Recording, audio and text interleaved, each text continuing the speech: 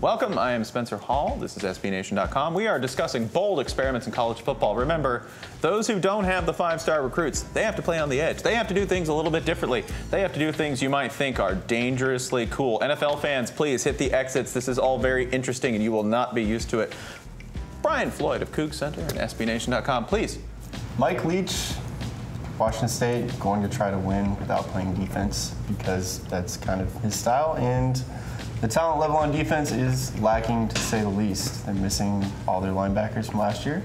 They try to start over, new system, and it's not going to be too pretty. So Leach is going to try to score all the points and hopefully not give up all the points. Fortunately, he's done that before. Mike Leach is totally comfortable playing without a defense. In fact, sometimes might prefer Paul Myerberg. Please tell me about the bold experiment 2012 you're looking for. It's not really uh, going to happen on the field per se. The bold experiment is Vanderbilt uh, expecting to go to a bowl game. I think that's bold, considering they've never gone to a bowl game back-to-back years. I mean, they've never won more than 14 games back-to-back years in the modern era. So uh, expecting a bowl game at Vanderbilt takes bold, I think, to a whole other level because it would make history. He's a bold man too, because remember James Franklin in Facebook photos, posing with his kids in adorable face paint. You know, it's the kind of thing that as a football fan you would make fun of. But now, like, I sort of wish James Franklin was my dad. Six wins or not, James Franklin's an outstanding father. Bud Elliott, please tell me about your bold experiment for 2012. Maryland going old school. Only 30 scholarship players. Everybody playing both ways. C.J. Brown, quarterback, and safety.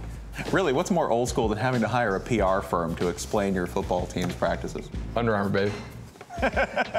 Remember, if everything else with Maryland comes back to it, you know, they are protecting this house, 30 scholarship players at a time. Um, a bold experiment at Texas A&M with Kevin Sumlin, going offensive with an air raid oriented uh, offense coordinated by Cliff Kingsbury, former Mike Leach quarterback. I mean, just going to the foreigner here, our Pac-12 expert, okay, someone who plays that communist football where they score points.